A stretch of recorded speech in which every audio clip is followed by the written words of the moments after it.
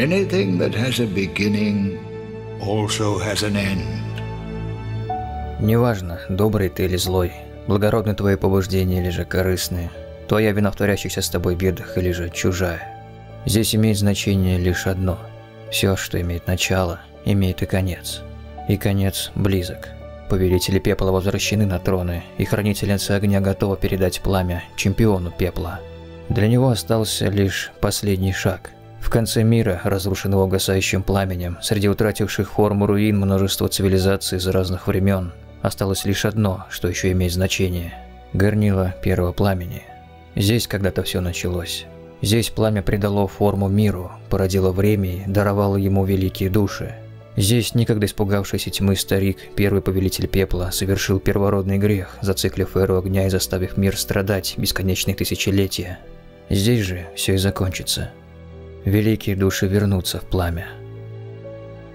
Ashen One, with the Lords as thy witness, bend thy knee afore the bonfire's coiled sword, and let the Lord's embers acknowledge thee as their true heir, a true Lord, fit to link the fire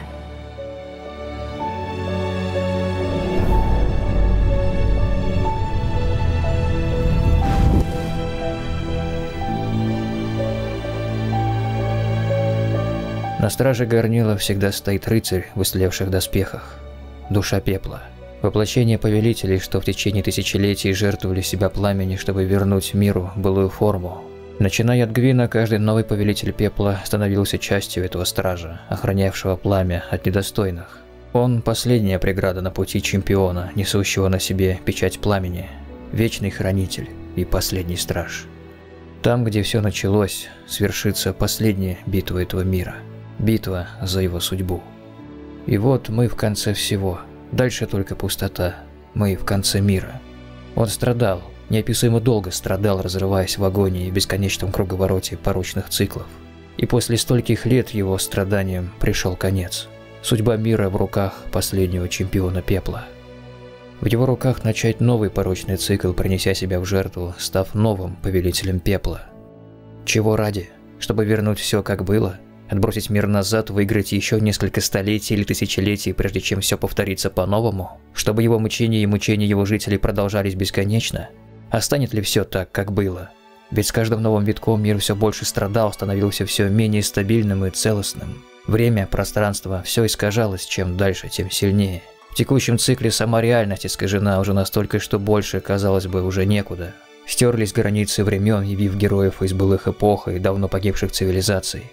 Границы миров также более не имеют значения, и те, кто не принадлежал этому миру, стали его полноценной частью. События истории потеряли всякий смысл. Прошлое сплелось с настоящим, а в будущем нет ничего, только пустота. Едва ли мир переживет еще одно вожжение пламени. Не случится ли так, что новый чемпион пепла останется тлеть возле костра, в то время как мир уйдет в небытие, просто исчезнет? Но ведь именно это и произойдет. Древний обряд вожжения потерял свою силу. На Лудлите Курлянском он прекратил существовать.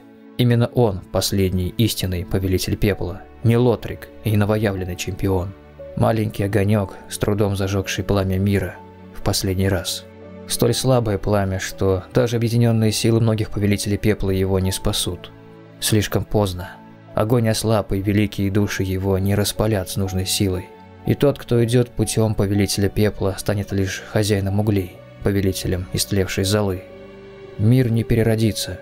Ему хватит сил лишь на то, чтобы вернуть время в момент, когда иллюзия надежды еще не растаяла. Он с самого начала пойман в петлю бесконечных циклов, но теперь эта петля затянулась у самого его горла.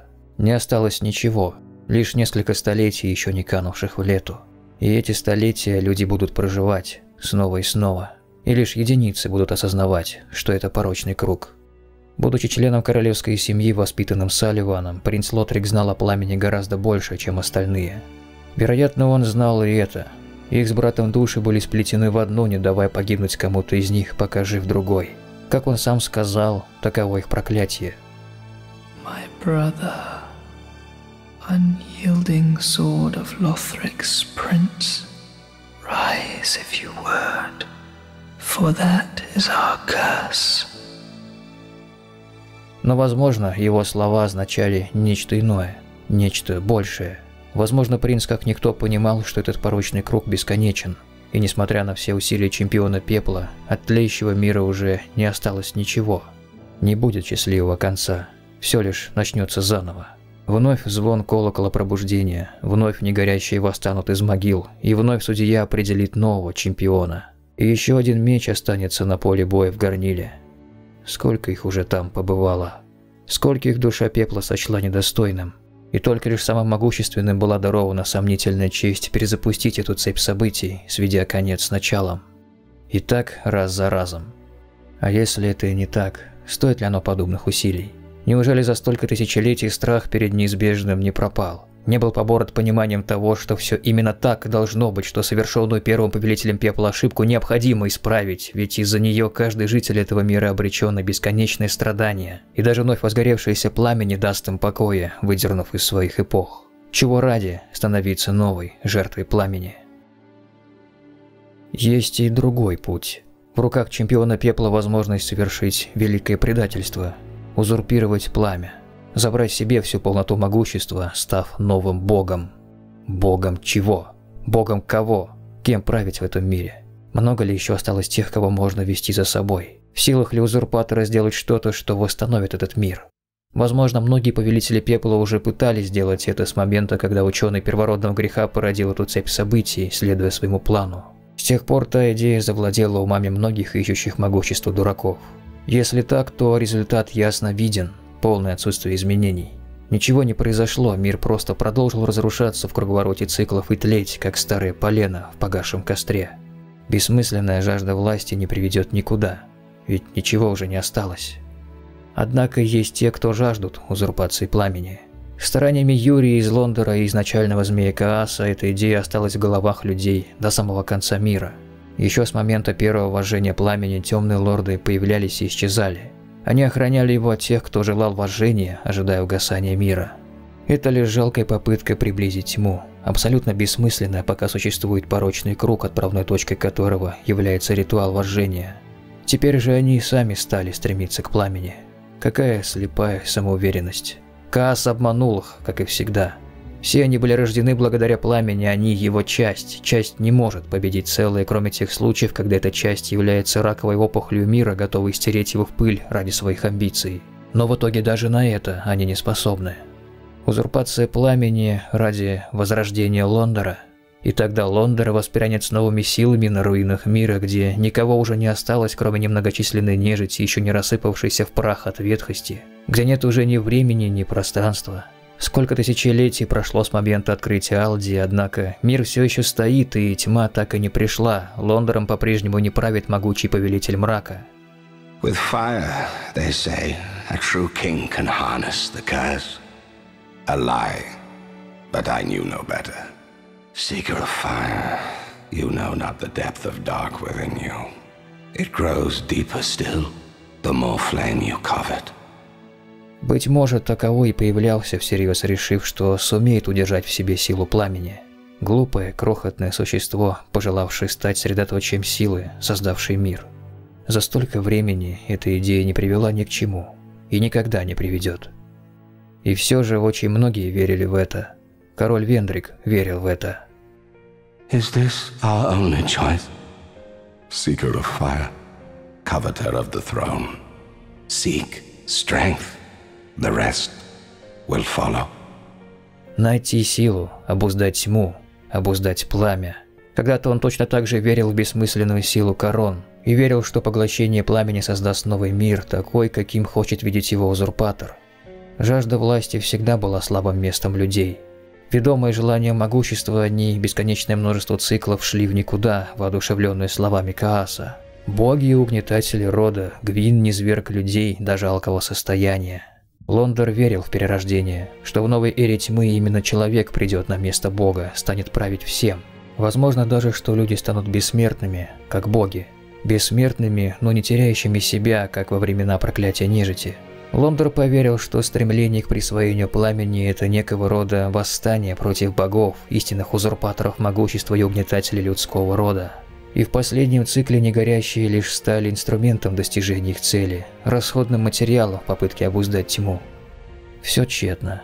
Сколько еще можно продолжать издеваться над пламенем? Вендрик ошибся. Мир не переродить иначе, победив проклятие. Этому всегда мешал первородный грех. Вот истинная причина всех несчастий. Ошиблась и Юрия. Ее мечты бессмысленны. Она неверно понимает эру тьмы. Тьма – неотъемлемая часть света. Пока есть тьма, будет и свет. И исчезнет он только вместе с тьмой. Ведь именно первородное пламя разделило мир на свет и тьму. И когда оно угаснет, не станет даже тьмы. Той самой тьмы, которой страшились боги и целые поколения людей. Не будет бездны и страшных ее порождений, не будет полного опустошения всех людей. Как не было света и тьмы в эру драконов, так ее и не будет в эре людей. Порочный круг наконец разорвется, и люди вновь станут теми, кем должны были быть, полноправными правителями принципиально нового мира, избавленного от проклятия, как когда-то ими были драконы, непостижимые никому. Они были за пределами огня и за пределами тьмы, за пределами правил нового мира. Алдия понял это, понял, что и людям было суждено стать такими же, неподвластными угасшему пламени, так было бы, если бы не страх Гвина. Он боялся потерять все, боялся неизведанности, ведь даже богам не дано понять, что принесет эра людей. Но было слишком рано. Мир еще не был готов принять такие изменения, ведь его жители все так же отчаянно будут стремиться все исправить, ломая его все сильнее и сильнее. Необходимо было дождаться правильного момента. Момента, когда назад дороги уже не будет.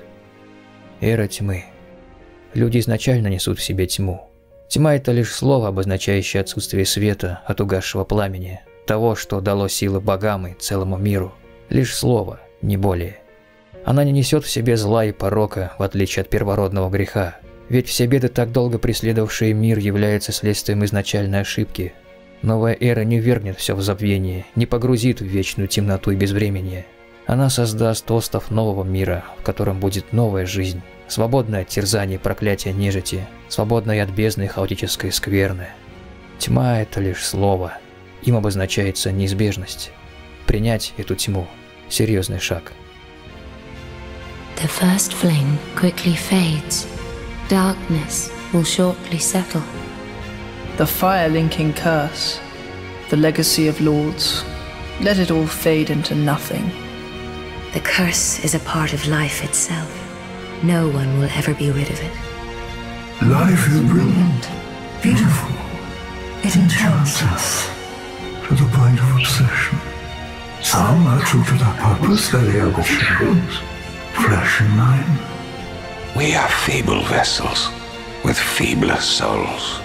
We would cast aside the prop of life only to face greater hardship. No flame, however brilliant, does not one day splutter and fade.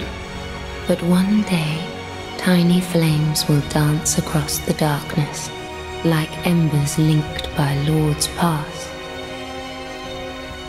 Что будет представлять из себя новый мир? Этого не знает никто, ни боги, ни люди, ни даже драконы. Мир начался без ответов, без них и закончится. Он достаточно страдал. Настало время покончить с этим. Здесь возник первородный грех. Здесь сломался мир. Здесь все началось, здесь же все и закончится. В момент, когда уже не осталось ничего, пора гасить пламя.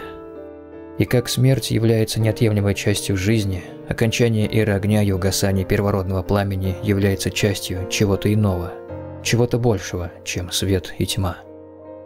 Не бойтесь тьмы, друзья мои, и пусть начнется праздник. Ashen One, hearest thou my voice still?